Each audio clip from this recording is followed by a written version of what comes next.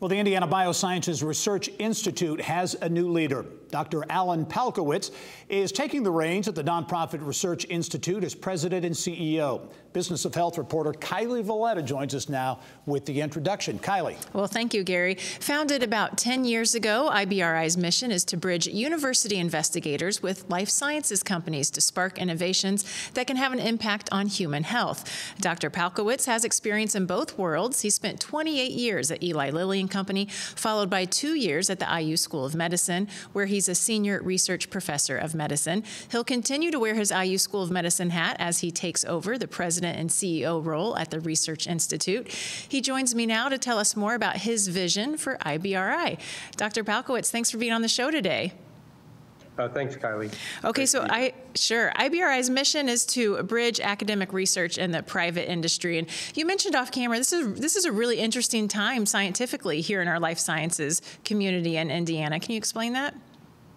Yeah, well, thank you. So um, when I when I look at the landscape, the scientific landscape, and starting, for example, here at IBRI, there's already been some tremendous work that's been initiated um, uh, focused on translational medicine and trying to advance disease understanding. And I look at that as just part of a larger concentration of, of talent and capabilities that, that are part of, of, our Midwest community. So, for example, when you look at IU, when you look at Purdue, when you look at Notre Dame, companies like Lilly and Roche, it really is a very fertile environment to continue to, to build initiative and, and focus on, on transforming human health. And, and that's really central to where IBR will fit in as we move forward. It's a key partner in, in that enterprise.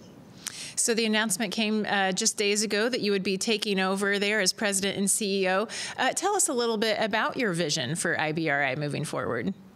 Well, this is something that will evolve over time, but what I really want to see for IBRI is to really emerge as a, as a key um, innovator and a key um, uh, leader of innovative science that focuses on human health for, for Indiana, but really for, for the world. And, and to do that, we're going to have to really work on becoming and establishing you know, our own uh, uh, having excuse me our own identity as, as a scientific leader, but also emerges as an invaluable partner that can work with uh, the, the, broader community to work on problems that are bigger than any individual organization to really move move uh, human health forward. And so that will be a very very key part of, of, of what I, what I work on, what I work to establish. But ultimately, we also want to um, contribute to growing the life science community here by, by working on initiatives that create jobs, to, to bring and retain talent, and really uh, uh, help the Midwest and Indiana and the broader Midwest emerge as a real powerhouse in, in, in, in advancing human health. And that's really what I'll be working to, to create with the team here.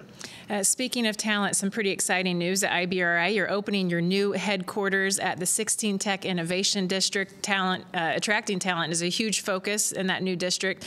Um, that project's really coming to life in Indianapolis now as it opened its Building 1, which is where your new headquarters will be. Tell us about the significance of IBRI being located at 16 Tech. Well, I, I, think, you know, as I said, we're in a innovation building one, which is really the cornerstone of, of the 16 tech community. And, and being here, being one of the first tenants, puts us really at the nexus point of, of, of a tremendous focus on the community and, and an expectation for growing the, the, the, this um, this this whole enterprise around us that we really grow the, the, the uh, biomedical community. So we're going to be uh, at, at, the intersection of a lot of key discussions, a lot of key investment, a lot of key scientific collaborations, and so that is really important for us uh, to really be at that at that focal point. And you know, I, I, think that will really help propel our identity, but also very importantly, um, really bring uh, the community together with, with this common mission uh, to really uh, advance uh, human health and, and, and build a, a broader uh, enterprise for the Midwest. And those open labs look amazing at your new headquarters. We're showing video of them. Hopefully, scientists will be filling those labs soon. Uh, so your background includes 28 years at Eli Lilly, followed by two years in counting at the IU School of Medicine. So you've lived in both worlds, uh, the private industry as well as academic. How will that background help you as you lead IBRI? Well, you know, from an ex experience standpoint, I've been able to, you know, work across the whole translational spectrum from all the way from basic research to actually taking medicines in, in, into patients and all the way through the uh, drug approval process. And, and that's across many different disease areas. So that, from a scientific foundation, you know, I think that is, is a good prep for this role. Um, but on top of that, I've had the great experience of working with many passionate scientists and helping them to realize their ambitions to change the world through their work. And so that experience of, of, how, of how to build teams, how to help uh, scientists grow uh, their careers and have an impact is something that I think translates across uh, uh, industry as well as to the academic and, and the, the IBRI setting, which in itself has, has its own unique uh, aspects to it.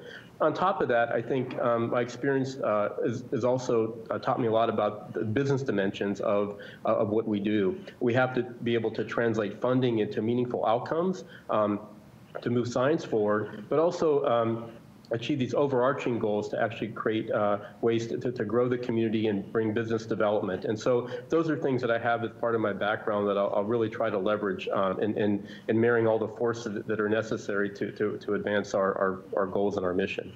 All right. Well, Dr. Palkowitz, you're looking great in your new digs there. So keep us posted on all the great things that IBRI does as you move forward in your new headquarters. Thanks for being on the show today. Well, thank you, Kylie. It was great to be here, and, and we'll definitely uh, keep you posted. Very good. Gary, back to you. All right, Kylie, thank you. Great interview.